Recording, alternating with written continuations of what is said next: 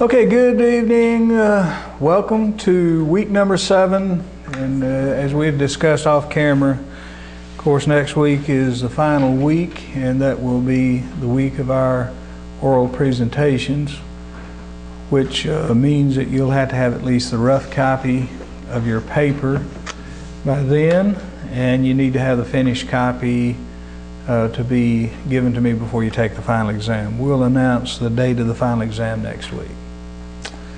And the paper will be three to five pages, isn't that what it said? What, what, three to five pages, double spaced. Uh, space. now, what's the difference between three and five and three and four? Well, Five is one extra page. Well, I mean, if if I say between three and five, that means it could be three, four, or five. Yeah. Okay. And three to four references. And I suppose the difference between three and four and three and five is that uh, for some people it may be more difficult to condense it down. and I give you the leeway of five pages. Okay. Um, tonight we're going to be looking at our second minority. Last time we talked about counseling African Americans. Tonight we'll look at Asian Americans and American Indians. We didn't finish um, African. Am- We just started it and then we got to Values go. of black, I could get to the club. We didn't finish. We started on. Okay, so let's take a look at Asian Americans. We discussed earlier in our class that the two fastest growing minority groups in this country are Hispanics and Asian Americans. The Asian population has uh, been growing rapidly in the last few years, and the main reason uh, for a greater influx of Asians has been because of more liberal immigration laws.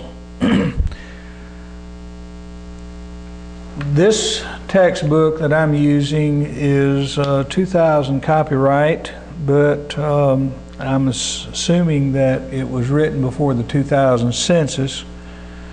The population of the Asians in this country was projected to be about 12 million in the year 2000, about 12 million Asian Americans. Projected to be about 20 million by the year 2020. A lot of the increase of the Asian population uh, has been due not only to more liberal immigration laws, but also to the acceptance of refugees into this country from uh, Southeast Asia, which of course was a spillover from the Vietnamese War. I thought this was very significant that in a 20 year period between 1973 and 1993, Asian Americans increased fivefold. The population increased fivefold in 20 years. As a result, the majority of Asians in this country are foreign born. The majority of Asians who live in this country are foreign born, which of course means that uh, the minority would uh, be second and third generation Asians. Anytime that you study uh, these various ethnic groups, uh, as we have learned, I think by this time, that you have to have a way of clumping uh, a lot of different ethnic groups together. You have to categorize uh, the different cultures into some major classifications. Otherwise, you would be dealing with uh, too many individual clans. Uh, as we'll discover in the next session, that there are over 450 Indian tribes. So it would be impossible for us to, well, it wouldn't be impossible, it would be impractical for us to study 450 different cultures. So we had to have a means by which we can uh, group them together. And keep this in mind that uh, even though that we come up with characteristics of these broad classifications, we have to guard ourselves against stereotyping, meaning that just because somebody belongs to a particular group does not necessarily mean that that individual is going to behave in that particular way. So the truth is, you have to deal with every person on an individual basis. So, why do we why do we even take a look at group characteristics? Well, first of all, it helps us uh, to uh, it helps uh, us again to classify or to uh, put our information down into a workable scheme, and really what it does, it allows us to come up at least with some uh, theories or some hypotheses.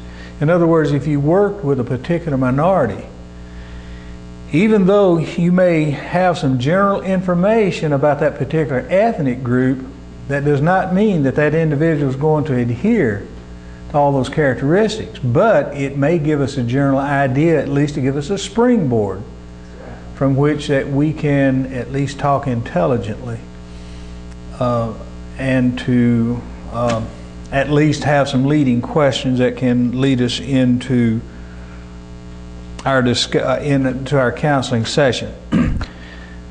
In talking about Asians, there are over 40 subgroups of Asians. 40. There, there are 40 different subgroups of Asians. So again, we're going to have to categorize Asians into some kind of workable classification. Now, these 40 distinct subgroups are, are different in language, they're different oftentimes in religion, and they're different in values. Language, religion, and values. the major groups that we're going to be considering under the Asians are Chinese, Filipinos, Koreans, Asian Indians,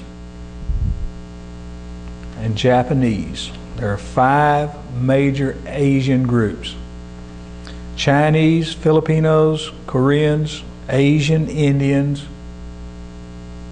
and Japanese. Those would be what we would consider to be the, the major immigration groups. There is a distinction between an immigration and a refugee. What do you think would be the major distinction? What, uh, Refugee is um, one that's leaving a homeland due to um, disorder or war or conflict in their home country, where an immigrant is more one that chooses to come. Okay. So immigrants generally are voluntary, uh, they're volunteer, um, they voluntarily choose to come to this country, and refugees generally are involuntarily flee as a result of some type of disaster or catastrophe of war. Among the refugees from Southeast Asia, we're going to uh, consider the Vietnamese, Laotians, Cambodians, and for lack of uh, better means of pronouncing this, I'm going to call it Hmong, H M O N G. Now, I think I had, huh? Okay, Vietnamese, Laotians, Cambodians, Hmongs, H M O N G S.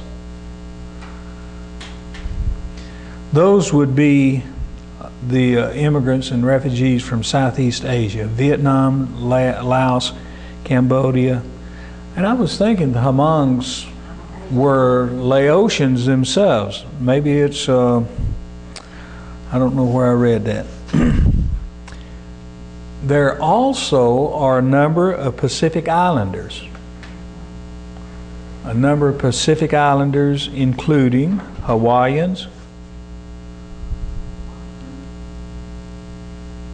Now, here you're talking about native Hawaiians, uh, which, course, they're American citizens now, aren't they? that's an interesting. Uh, that's an interesting point. Hmm. I mean, this is a this is a modern textbook. Uh, Pacific Islanders, Hawaiians, Guamanians, Guamanians from Guam, G U A M A N I A N S, and Samoans from Samoa, S A M O A N S. Now, even though there are going to be some characteristics which are common to many of these, you have to keep in mind that some of the individual variables are going to include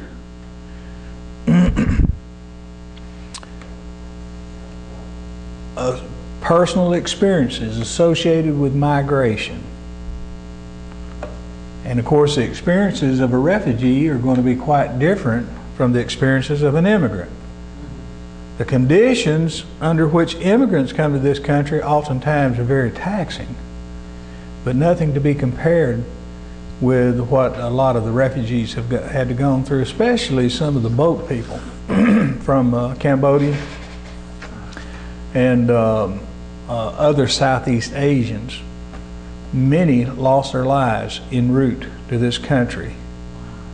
Uh, some of these groups experienced uh, uh, maybe up to 75% lost a, a, member of their family.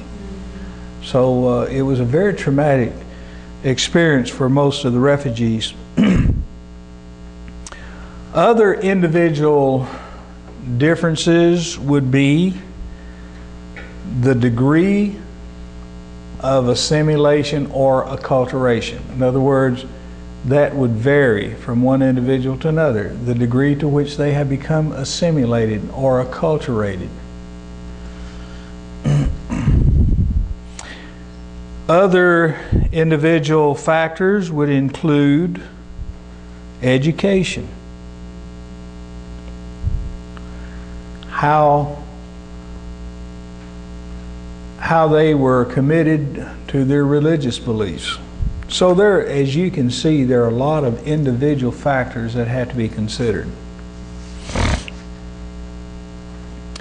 We're going to be looking uh, at a general image that is portrayed of Asian Americans.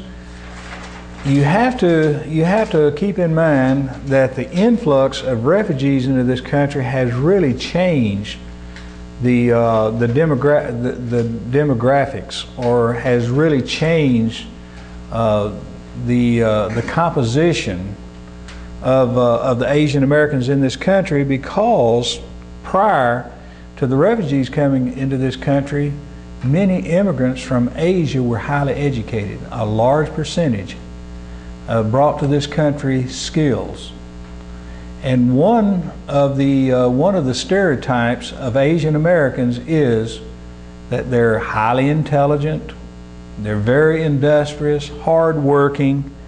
In fact, there has been somewhat of a myth that has been perpetrated concerning Asian Americans, and I say a myth because uh, a lot of the a lot of the common images of the Asian Americans does not tell the true picture. Again, Asian Americans have uh, been stereotyped as being high achievers, highly educated, uh, skilled, enterprising, disciplined. In other words, they have been generally portrayed as being highly successful. Asian Americans have been portrayed as being highly successful. One of the signs uh, that ha- or one of the evidences uh, which is an indicator of success in terms of minorities is what we call the reduction of social distance. The reduction of social distance.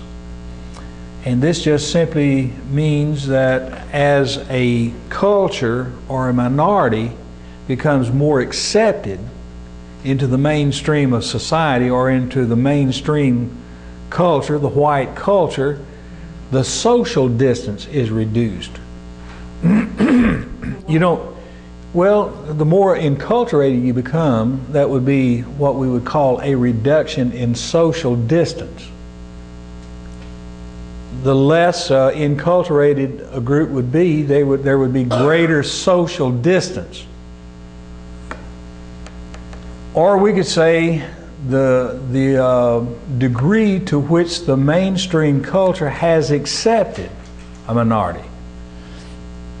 And this is also measured by how accepted, say, interracial dating and interracial marriage is.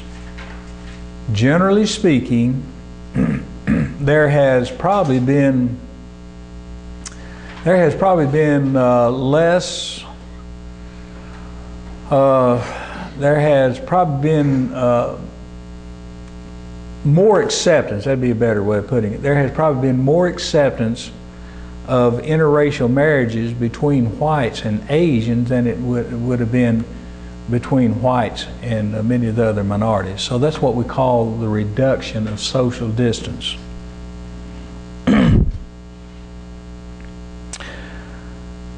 Asians have generally been viewed as being well adjusted.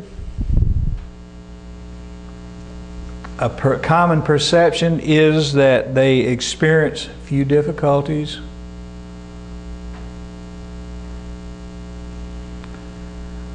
There are low official rates of juvenile delinquency. Now, notice the way I worded that low official rates meaning that uh, you don't have you don't have a, a, lot of official records. Now, the reason we word it that way is because that, that does not necessarily indicate that juvenile delinquency does not exist. But there are less official records. Low rates of psychiatric contact so let's kind of summarize. Let's see uh, what we have uh, talked about so far. We have talked about the image that Asian Americans have portrayed, and it has been one of success. The image has been one of relatively low contact with uh, psychiatric agencies, psych uh, psychological agencies, mental health agencies low official rates of juvenile delinquency.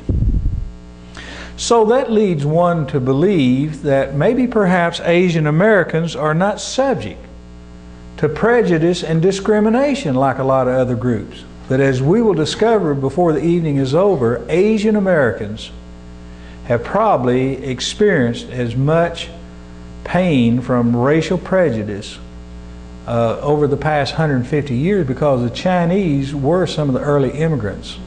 And when I say early immigrants, I'm talking about non-whites. Of course, we've had immigrants into this country uh, since before the Revolutionary War, but most of the immigrants into this country were from Western Europe, white Europeans. And so when you got into your non-white immigrants. The Chinese were some of the early immigrants in this country, going all the way back uh, to the 1840s, in particular on the West Coast. And that was because of the gold rush, and it was also due to the fact that the Chinese provided very cheap labor for the building of the Transcontinental Railroad. The two major factors that brought Chinese into this country on the West Coast were the gold rush and the building of the Transcontinental Railroad. Some of the acts of discrimination against uh, Chinese or Asian Americans, and we're talking uh, probably early on about uh, the uh, Chinese Americans. Because it was probably in the latter part of the 19th century, somewhere around 1890, when the Japanese started coming into this country. But some of the uh, some of the indications of discrimination in this country included denial of citizenship rights, the denial of land ownership, and specifically against the Japanese were the discriminatory acts of World War II, where the Japanese Americans were brought into war camps in this country. Now, we talked about the myths that have been perpetrated concerning Asian Americans.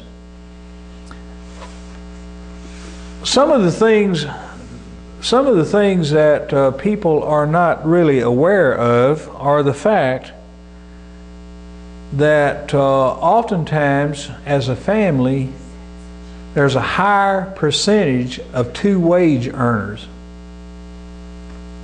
you know, one of the things I've observed personally concerning uh, Asian Americans, uh, and I'm thinking specifically about Chinese Americans, is that when they come to this country and open up a business, of course, Chinese uh, have been involved through the years in uh, uh, laundry work. Uh, they've been involved in restaurants, grocery stores, etc. But uh, they're certainly willing to come in and, first of all, to work extremely hard. They're willing uh, to um, they're willing to live under less than ideal living conditions in order to get ahead. Uh, it, it, didn't take much uh, for some, uh, you know, to to exist. I, am thinking about a restaurant owner up in Jasper who came into Chinese, who came into uh, Jasper there and opened up one of those Chinese restaurants, and they live there in the back of the restaurant.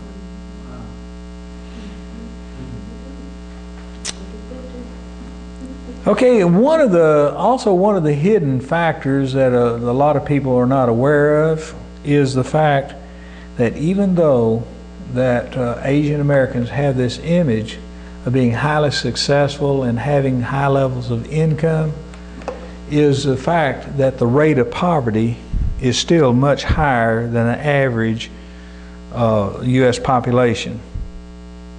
The rate of poverty, because a lot of people are, not aware of the Chinatowns. You know, a lot of people go to Chinatown in San Francisco and Chinatown in uh, New York City as a tourist attraction. And all many of these people can see are the shops, the restaurants, the, the beautiful colors of, of the lights, but they're not aware that behind the scenes are some very poor Asian Americans. And a lot of people are not aware that there are on the West Coast a lot of uh, Chinese gangs. There's also a discrepancy in the Asian American community between the level of education and income. Even though their, their level of income uh, generally speaking, the family income is relatively high, which is explained by the fact that two are working, and of course, in almost any family now, two work. But again, it seems to be a higher prevalence among Asian Americans. But uh, there also is a discrepancy between the level of education and the income that they receive, meaning that, uh, that oftentimes a minority will make less money for the same level of education than a white. You know, the truth is that uh, on the average, that females in this country make less than males for the same level of training and same level of education.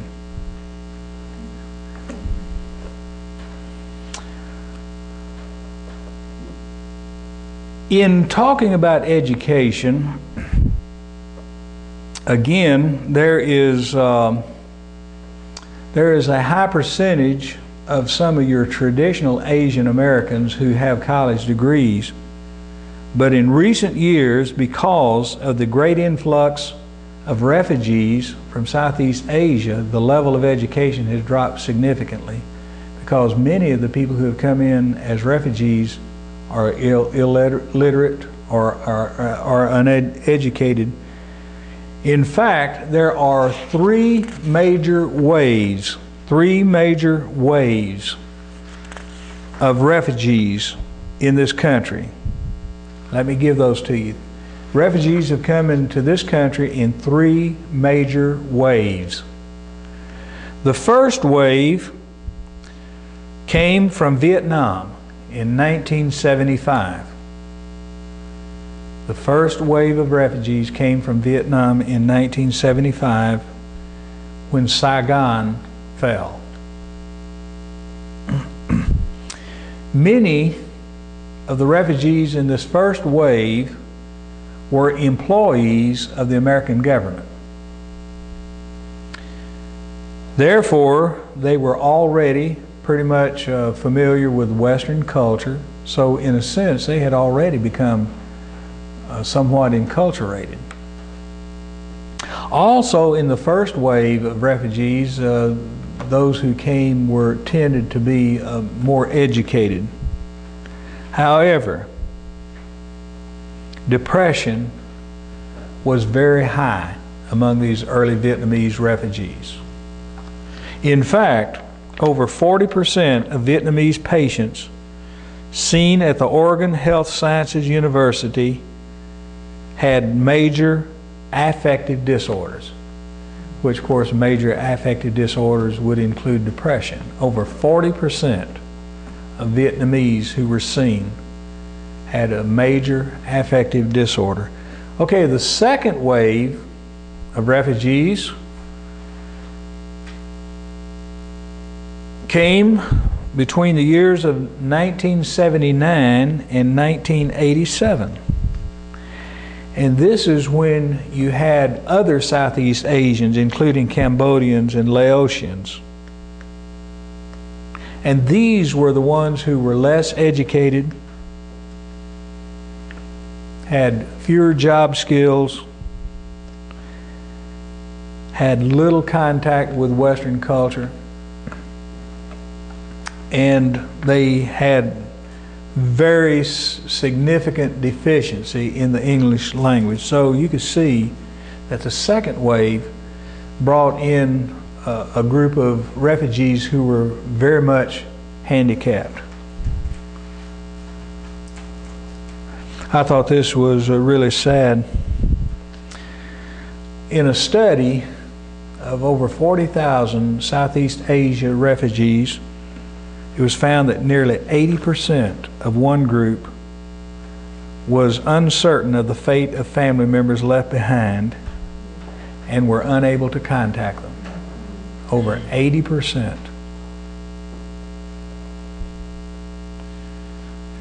The greatest number of losses among close family members were uh, those from La- La- Laos, L A O S, Laos. The third wave of refugees occurred after uh, the Vietnamese initiated the Orderly Departure Program, the Orderly Departure Program, in 1982. I think probably uh, it's not important for you to know the name of the program, but you, probably what you need to know here, and I'll, I'll probably uh, have you to be responsible for knowing that there were three major ways of refugees.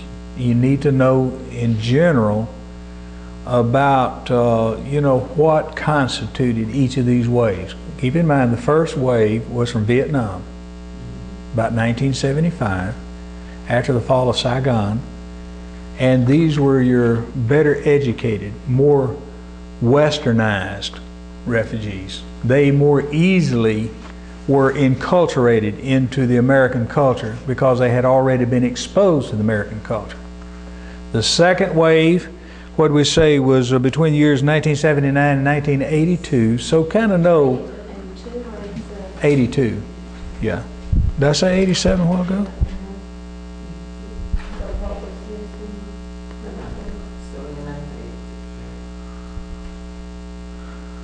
Well, it's 82. I'm sorry.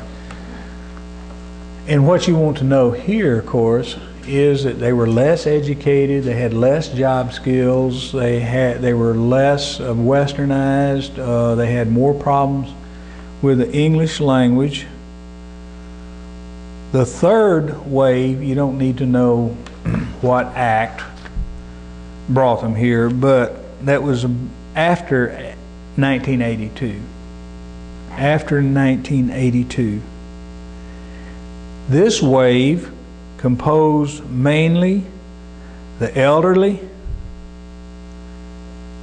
and unaccompanied minors. The elderly and unaccompanied minors. And I'm assuming, gosh, I don't know why you would have unaccompanied minors unless uh, these uh, may have been children that were left behind. I can't imagine anyone leaving their children behind. Of course, I'm sure that had they, what's that? Maybe their parents passed away. Well, that's true too. Yeah. Now, is this, are is this route from Vietnam? Well, all of this was a result of the Vietnamese War. I mean, Because you have to understand that the war in Southeast Asia, which was fought primarily in Vietnam, affected Laos, Cambodia. But on number three, you said it was after 1982. Are these primarily the ones, the elderly and the unaccompanied minors, are they primarily from Vietnam? Oh, no, no. Uh-uh. Well, uh, I say primarily, perhaps so. But it also opened the door for other refugees. And I think I had shared earlier, a couple weeks ago, about Nancy's sister being involved in a Cambodian ministry in Memphis, and they've been involved in that ministry now for about 20 years. So that would go back to about 1982. Okay? So Just for reference, go ahead. go ahead. Would you give us, would you give me the name of that act one more time? Okay. Um, The name of the act is uh, the Orderly Departure Program. The Orderly Departure Program. This apparently was uh, more on the part of the Vietnamese government than it was uh, an act on our part. And you have to also understand that we have had much more liberal immigration laws over the past 25, 30, 35 years, which is the which gives rise to uh, to more of the need for multicultural studies. We have accepted uh, people into our borders for humanitarian uh, purposes, and uh, you have to also keep in mind that you you have many immigrants who have come into this country who have contributed significantly because of their level of education.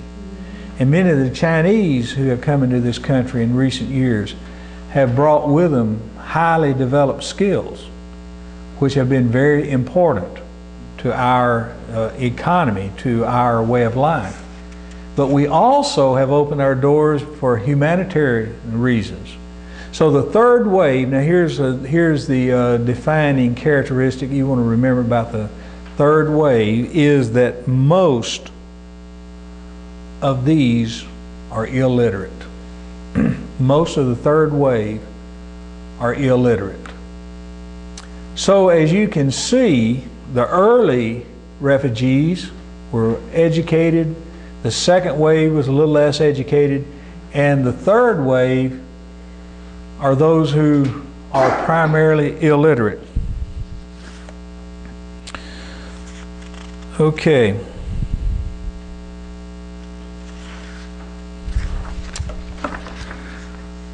Let's take a look now at. Uh, I didn't mean to. I didn't mean to jump too far ahead and talk about the refugees because we were talking about the Chinese, weren't we? We were talking. Uh, I guess we were uh, emphasizing the Chinese a moment ago. Let's go back and, and talk a little bit more about the Chinese Americans.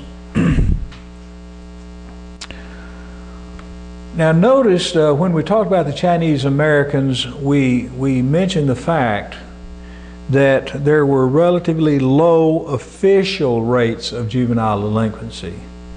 And we also mentioned the fact that there were low reported rates of contact with mental health facilities. Now, does that mean that they're more, uh, they're healthier mentally? Not necessarily. Does that mean that they don't have problems? No. They still have their psychological problems. They still have their mental problems. They still have uh, they still have their adjustment problems. They still have to deal with uh, mood disorders. They still have to deal with depression. So what's the explanation for these low reports? Well, there are a couple of explanations, a couple of reasons. Number one is that uh, many Asian Americans, and in particular Chinese Americans, consider, uh, you know, they, they consider their problems as being something that should be solved within themselves or among themselves. It's something that you don't go outside to get help.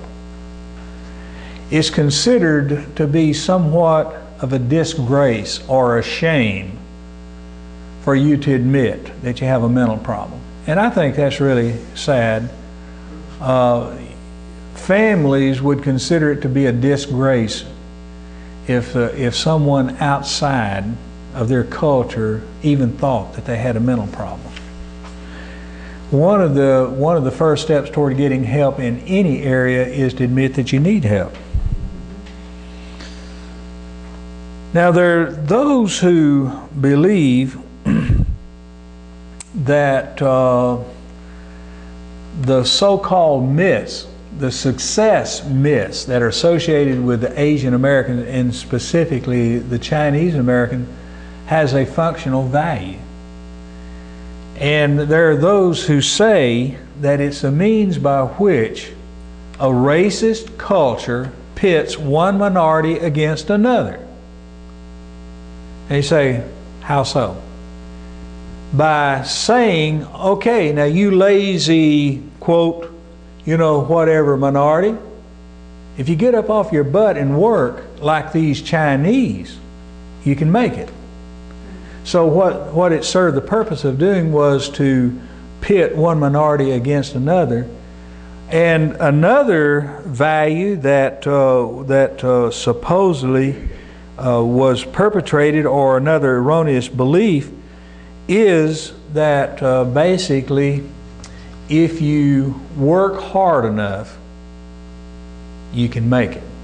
Now keep in mind that there is a truth to the fact that hard work pays off. Keep in mind that that is a white cultural belief. Now also remember this that uh, just because you say that's a white culture belief does not mean it's bad. You know, I still say the work ethic is a good ethic.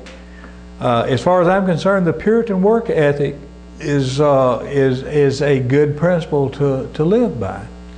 That if you do work hard, but what you forget is that there are a lot of minorities who have been discriminated against who have, had, who have not had the opportunity because of discrimination, it didn't make any difference how hard they worked.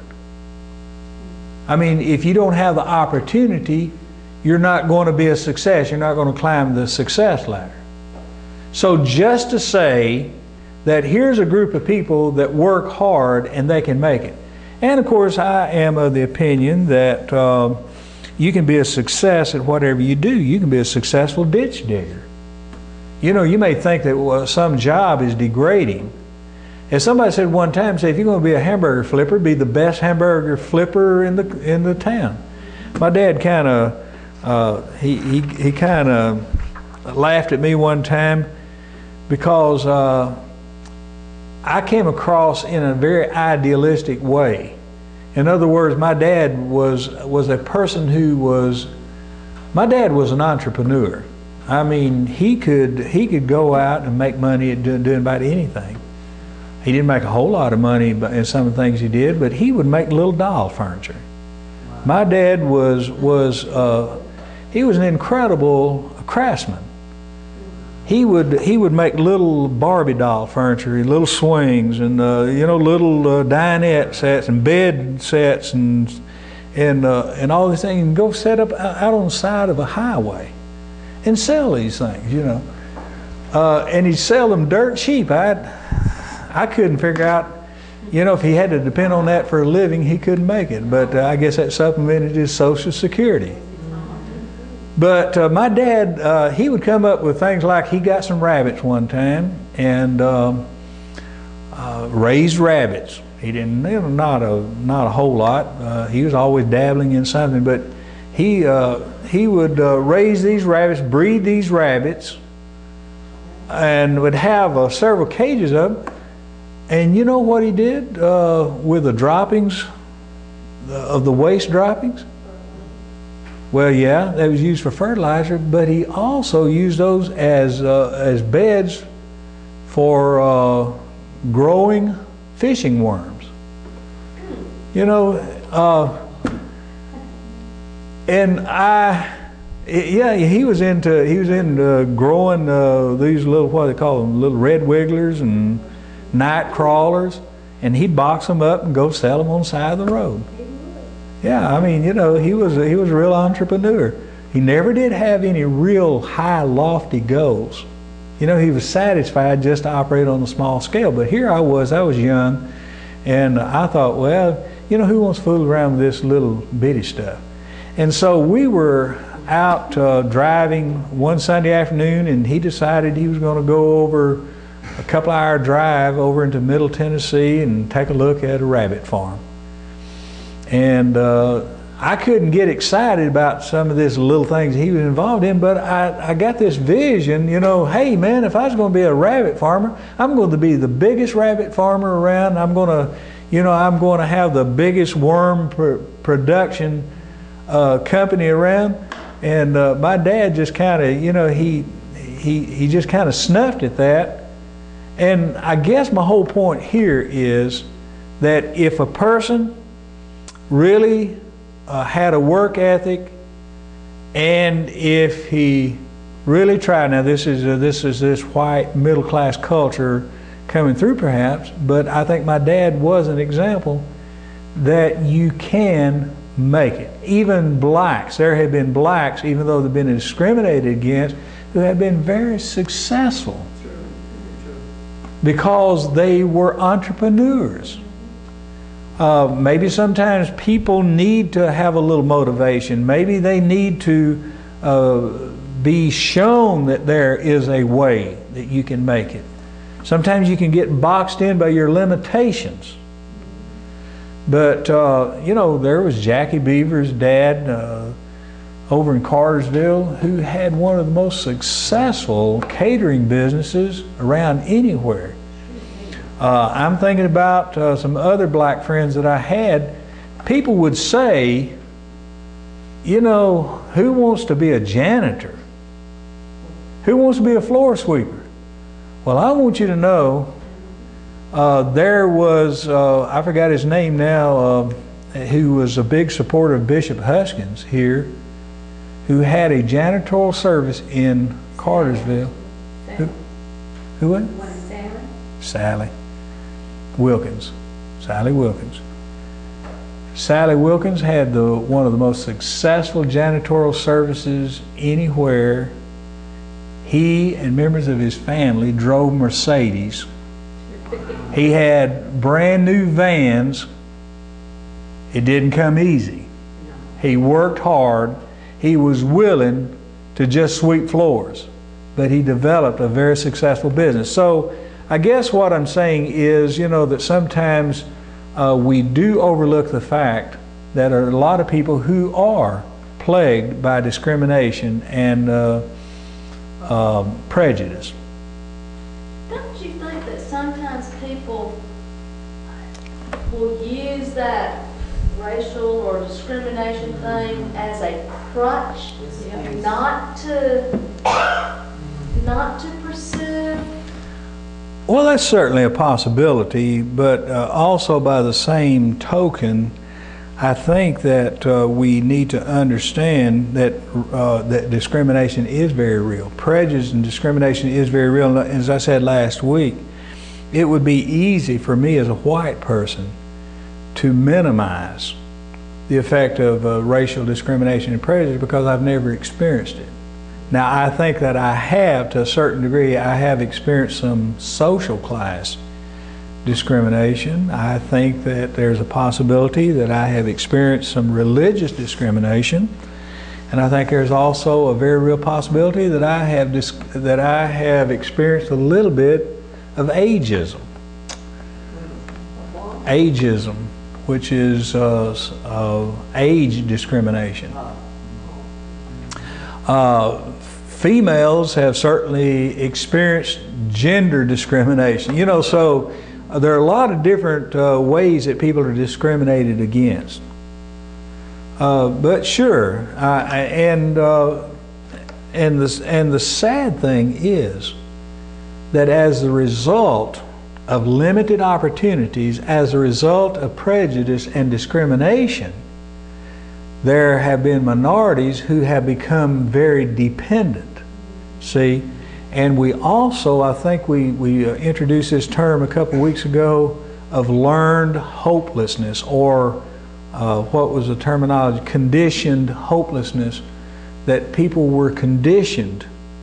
Uh, and that's really what the welfare system has done, has conditioned people to become dependent upon.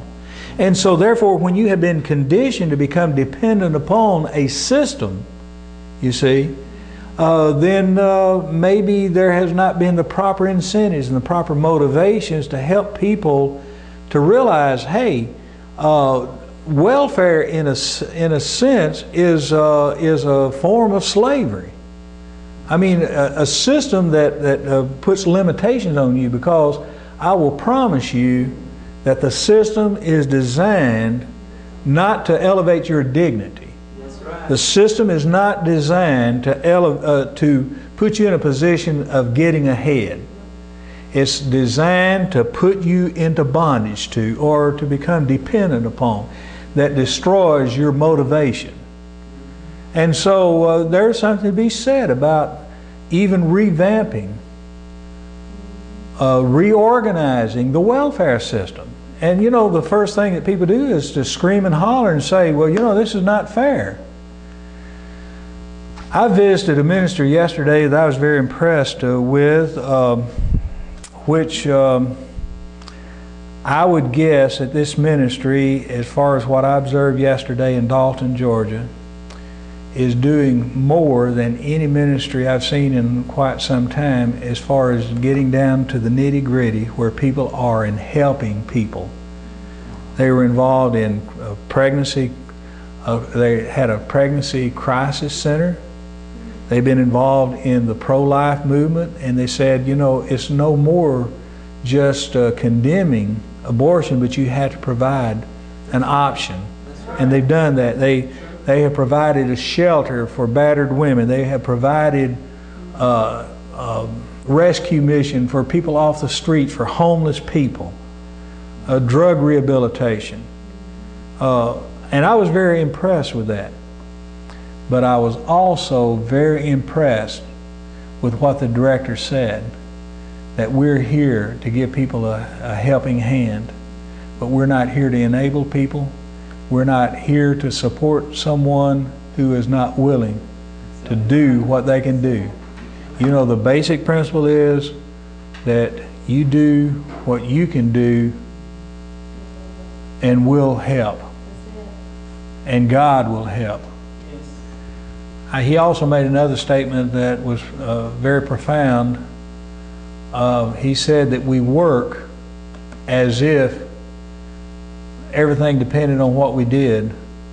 Let's see, what was it? He said that's the way we work, but we trust God. In other words, our faith is in God. We trust God. We- Oh, we pray as if everything depended on God, but we work as if everything depended on us. So the whole point is that uh, there is a system that has been perpetrated that has been designed to keep people at a, at a limited level. The system is not designed, now this is true for Social Security. Social Security is not designed to help people get ahead.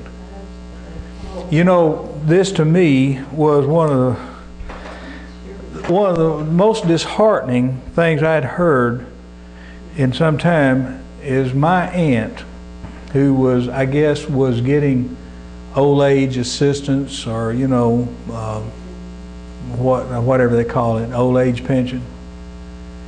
And she won a drawing at the local grocery store for $250. They deducted that amount from her monthly check.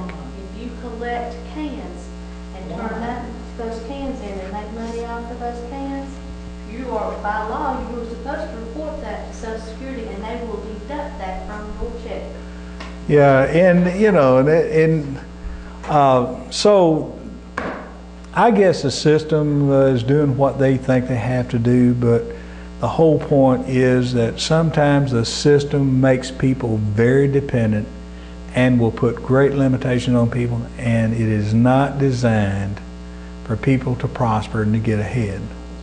The only system that is designed for people to get ahead is the kingdom of God. The principles of the kingdom of God. Okay, let's see where we are here. Uh, some of the issues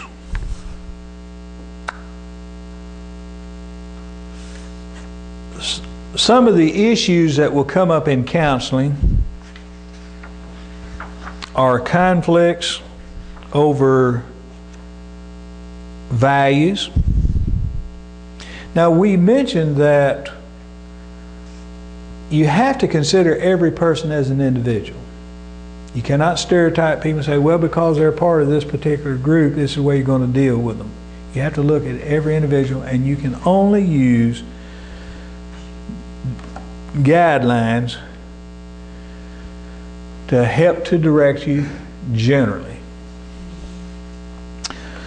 Some of the issues of commonality that can be associated with Asian Americans are deference to authority, deference to authority, deferring to people who are in positions of authority. When you defer to a person over you, or if you if you, you you're basically doing what you're preferring. I guess in a sense, when you say defer, you're giving way to. It's a it's a type of humility, of recognizing authority and deferring to that authority, and that seems to be a general characteristic of Asians. Another characteristic is emotional restraint. Asians generally think in terms of emotional restraint, holding back your feelings as being a sign of wisdom, a sign of maturity. Not expressing yourself emotionally. Emotional restraint. Another value that's associated with the Asian culture is a hierarchical family structure. Hierarchical family structure. And this is patriarchal. The male is definitely the dominant gender. The hierarchical family structure also gives great regard and great respect to the elderly. And along with uh, this uh, hierarchical family structure would be what we would refer to as gender specific roles, meaning that people have very specific roles when it, uh, when it comes to gender. And the role of the female is basically a subservient, submissive one. And another commonality that seems to be the trend among Asian Americans is the, the extended family orientation. Now, a minute ago, you said that we were dealing with issues that would come up in counseling.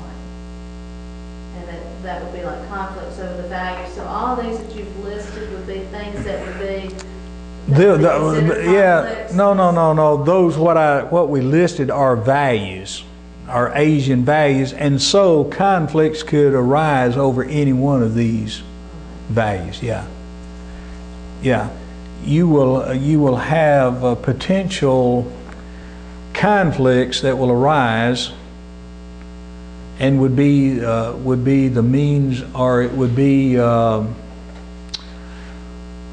uh, issues that, that would uh, lead to the counseling situation could be conflicts that would involve these values, okay? So there's four va, four main values? Oh, I don't know. Is that how many I gave you? I, deference to authority, emotional restraint, specified roles.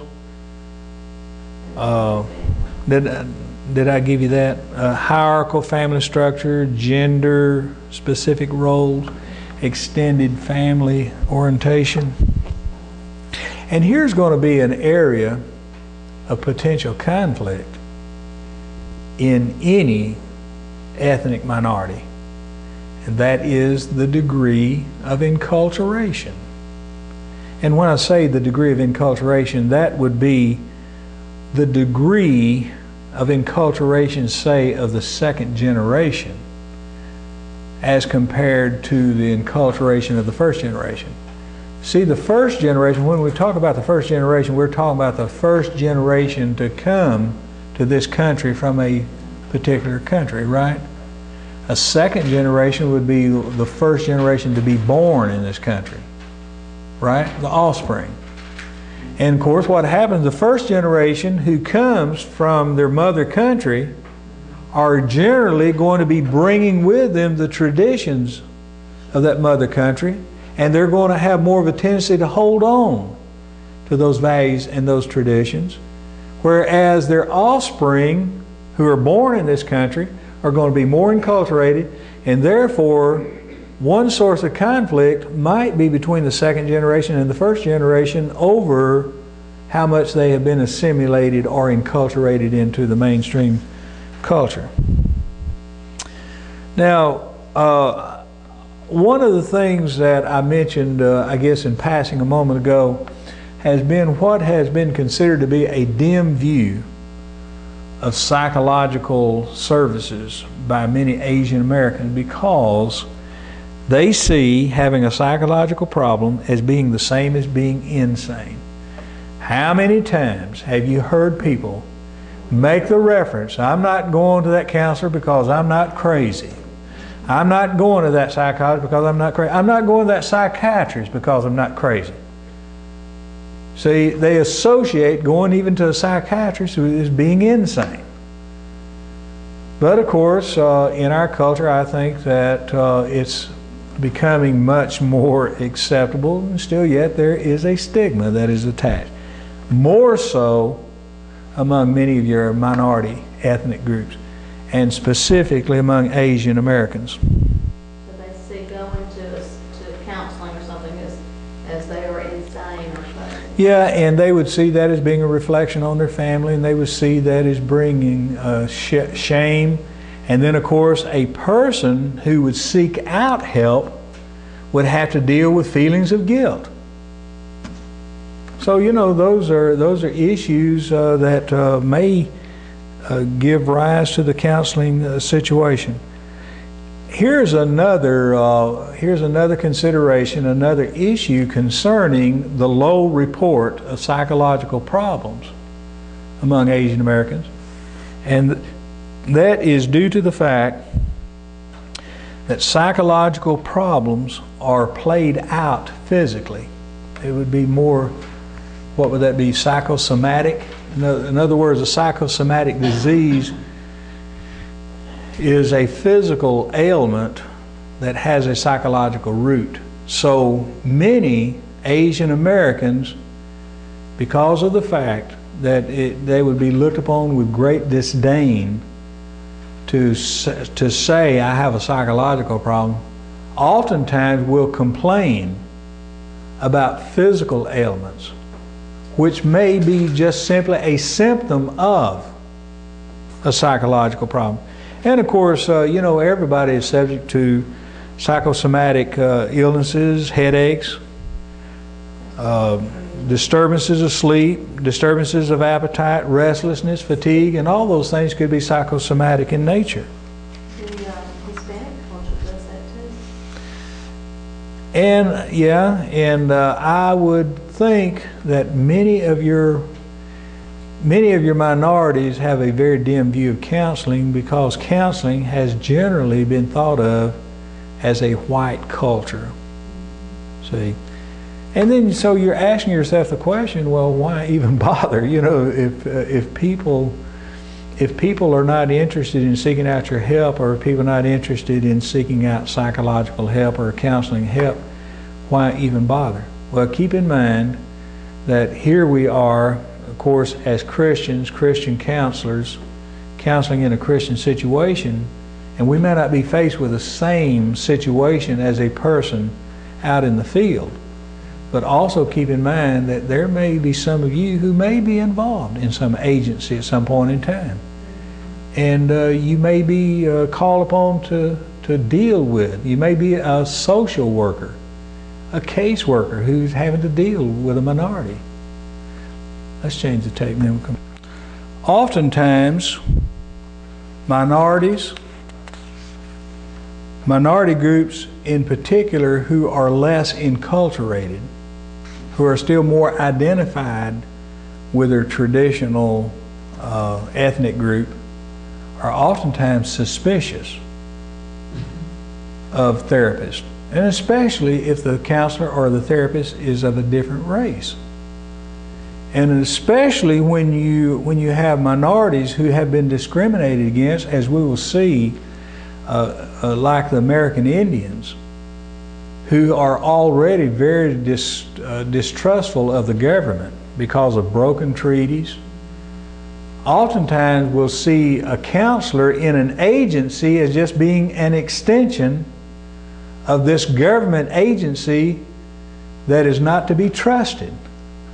So these are things that you have to keep in mind. Uh, uh, and again, uh, you're in a totally different setting in a church or you know where a person has voluntarily come to uh, to seek out Christian counseling than say if you were working with an agency.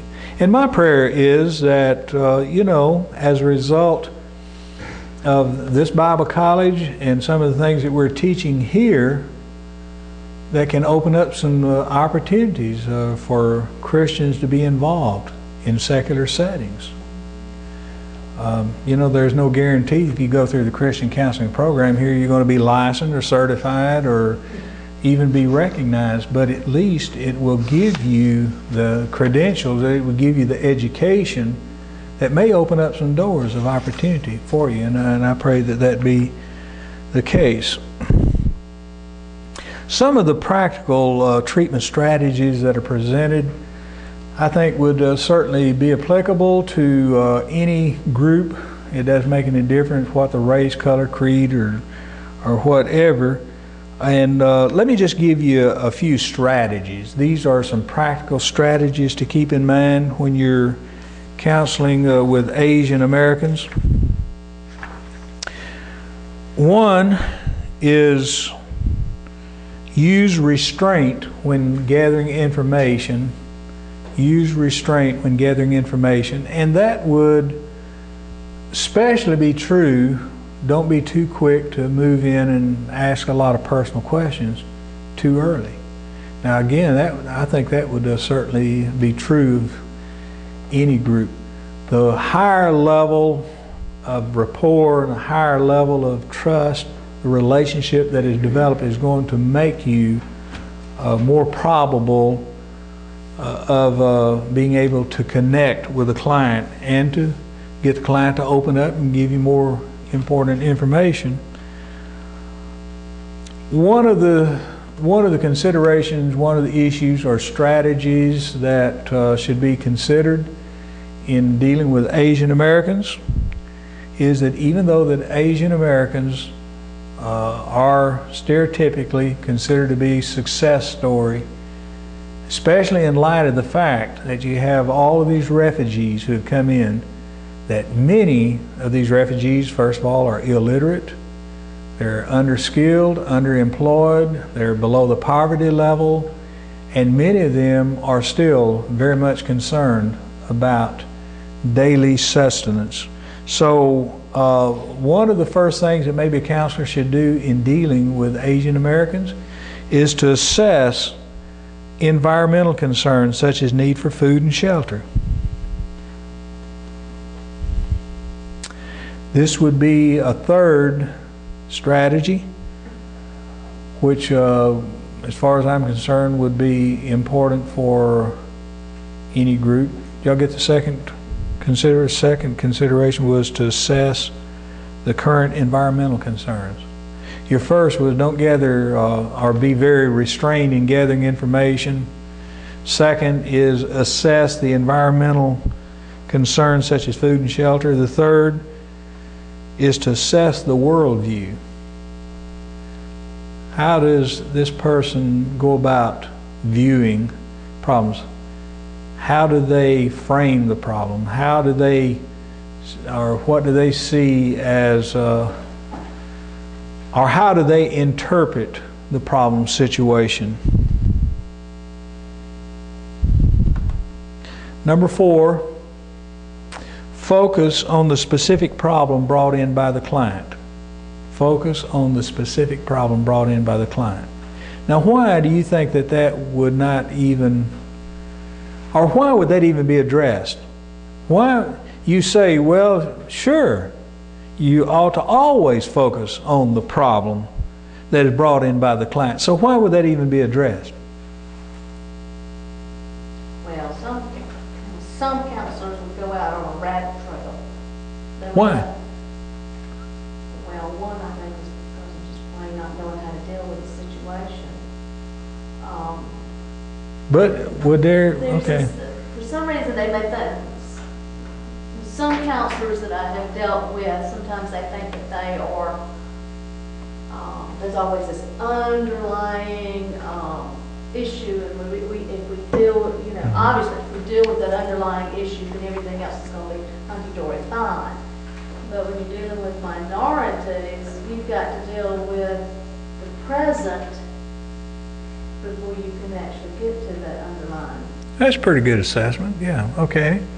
Uh, so what you're saying is that a counselor, now we're talking strictly from the uh, mainstream white cultural approach, that uh, we think that it's our job, and maybe it is, to get to the root of the real problem. And so, oftentimes, what a person presents as the problem may not be the real problem. And so, uh, the counselor may, by various means, seek to get below the surface. Well, first of all, a person who comes to counseling doesn't know you and they don't know whether they can trust you or not. So maybe they're not, they're not quite ready to divulge this deep, uh, innermost secret. Right? And they may not even know what it is themselves. That's exactly right. And so part of the counselor's job is to help that person to tap in and maybe discover what is really the root of the problem. Sometimes you can be in denial. Sometimes you can uh, you can be dealing with repressed issues. Repressed just simply means that you're not aware. You have pushed issues out of your awareness. Or a counselee may come in and be very much aware of what the real issue is, but they're just not ready to talk about it. So they present some other issue, but, you know, a very insightful counselor may say, now this is what you're saying, but I just have a sneaky suspicion that there's something else going on here. Is it possible? See, you know, you always deal in these hypotheses. You don't just come out and say, well, this is what it is. it possible that this is what is going on? And if a person is aware of that and they've just been kind of hiding it, they're going to be faced with the decision as to whether they're then ready to deal with it. Or if they're not aware of what the real issue is, and then when it's brought to their attention, they say, ah, I said, you may have a point there. You know, that may, that may really be the case. So the point here is that when you're dealing with Asian American, and I suspect with a lot of other ethnic groups, just focus on the problem that they bring to. Don't try to read anything between the lines. Don't try to deal with any under the surface issue. Don't try to uh, gain any insight or bring insight to them, but just deal specifically with the issue that they bring into the counseling.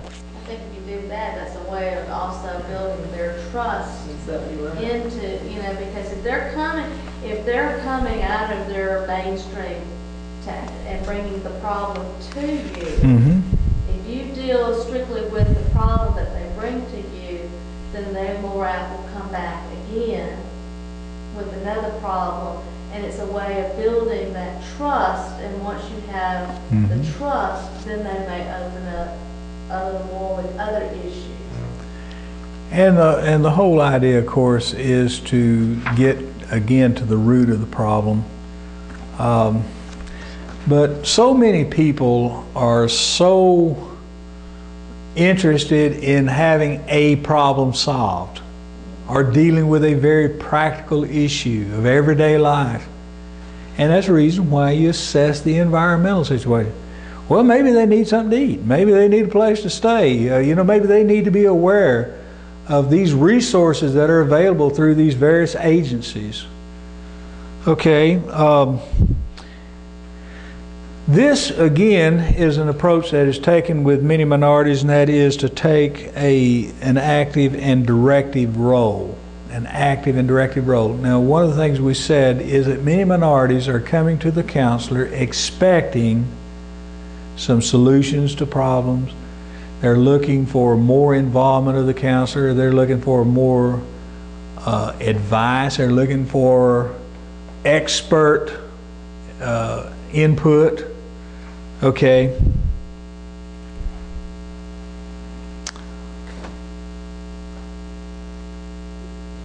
I think that's probably all that we'll talk about there.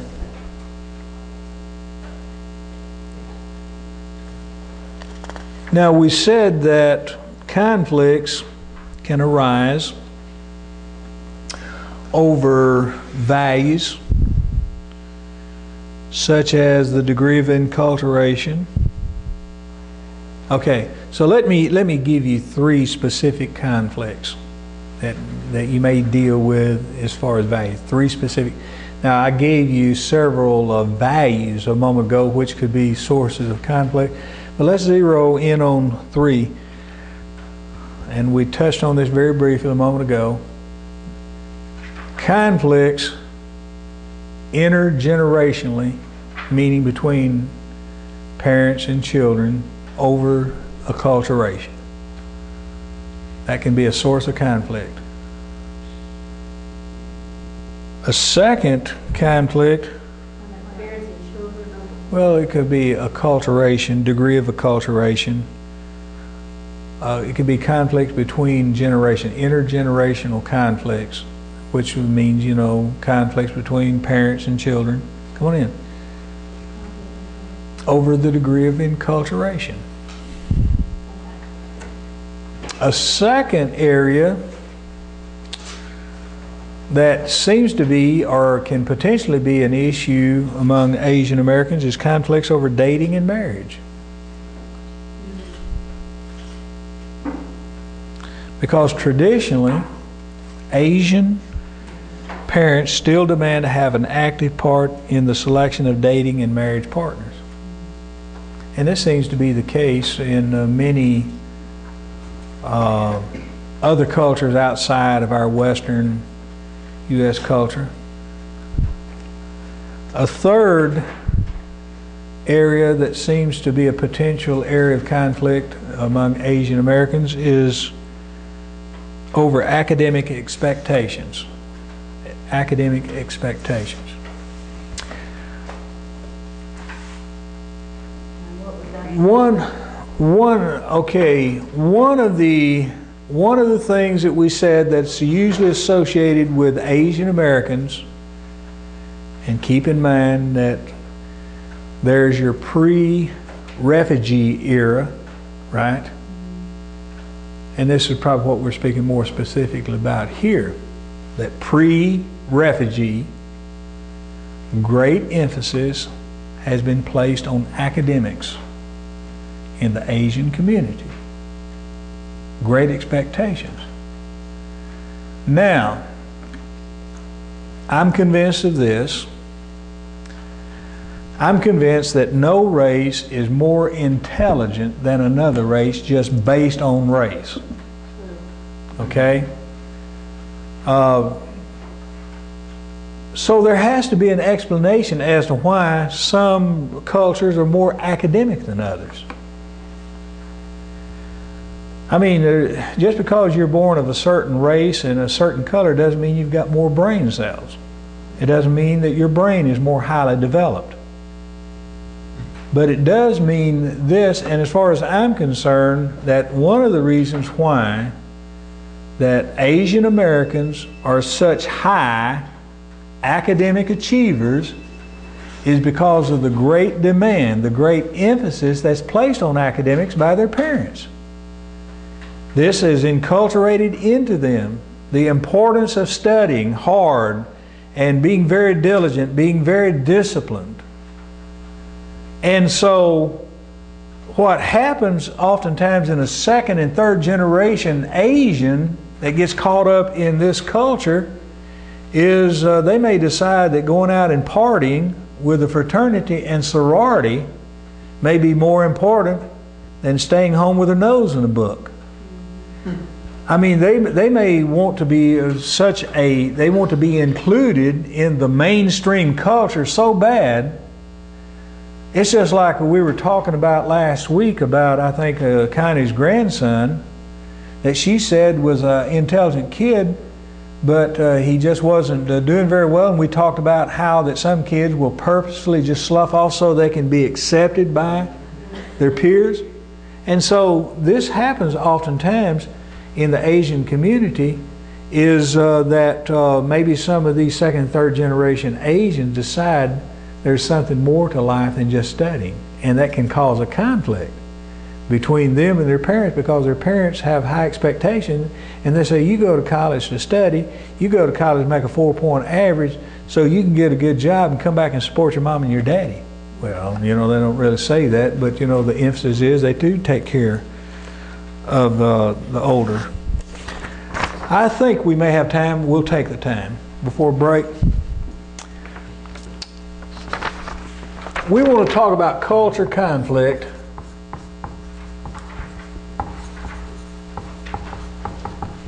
By taking a look at the various combinations of one's assimilation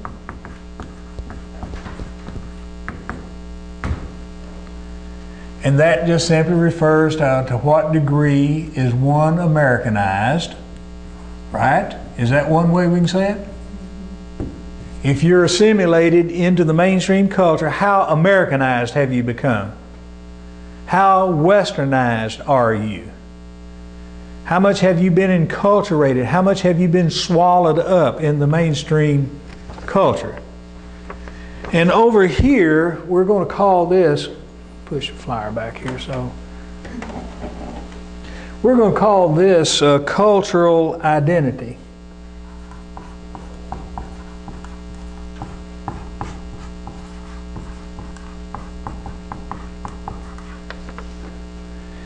Now, didn't we say that one of the major conflicts can arise between the degree of acculturation or assimilation and one's cultural identity? The first generation is more identified with their culture. The second generation has become more Americanized. Okay, So everything to the left of this line here is going to be what we call high assimilation. Everything to the right is going to be low assimilation. Okay?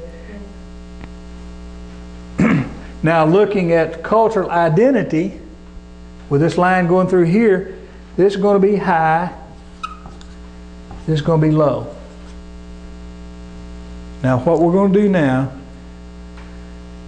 is that we're going to identify four possible scenarios. This quadrant right here is going to be high assimilation, low cultural identity. This is going to be what we call type A. Everything here is going to be type A. And you need to get this because I, I promise you, you'll probably have a question on this.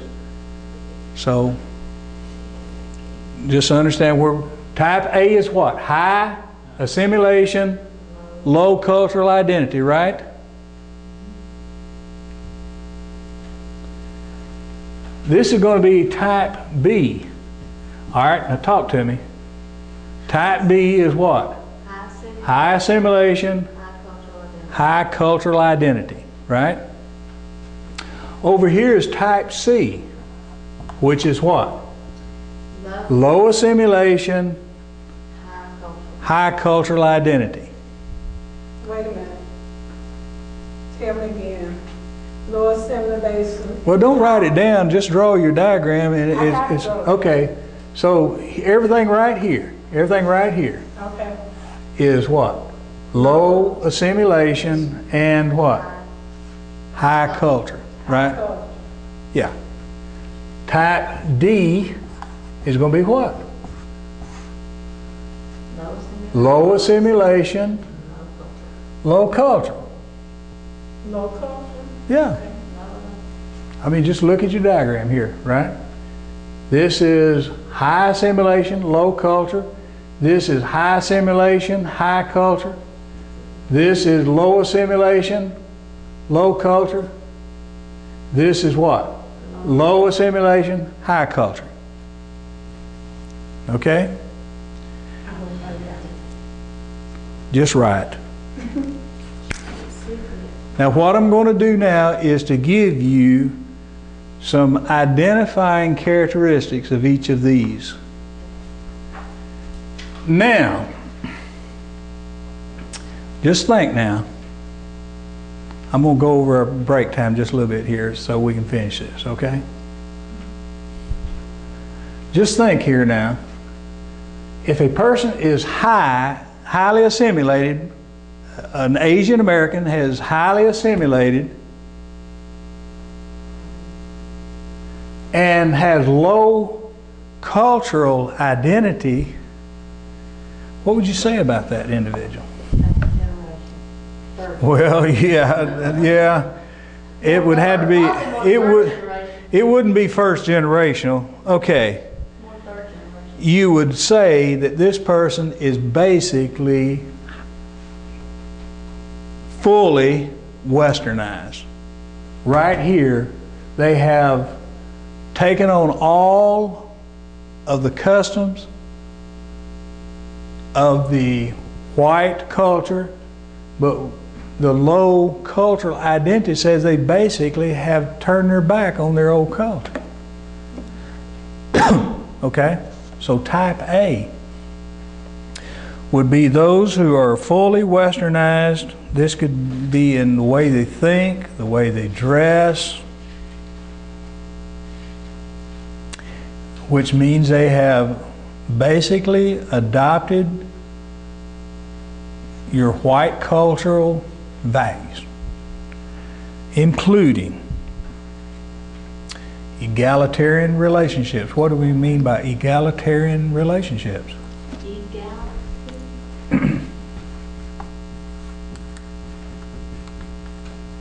What's an egalitarian relationship?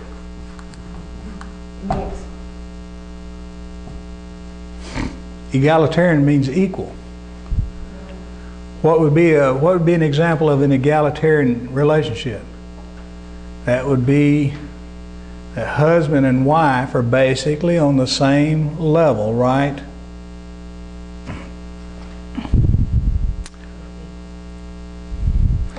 This would be this is again because of their low identity with their culture. Isn't that what this is? They basically would uh, be in denial of their Asian identity. They would be, what's that? Type A. Yeah. Yeah.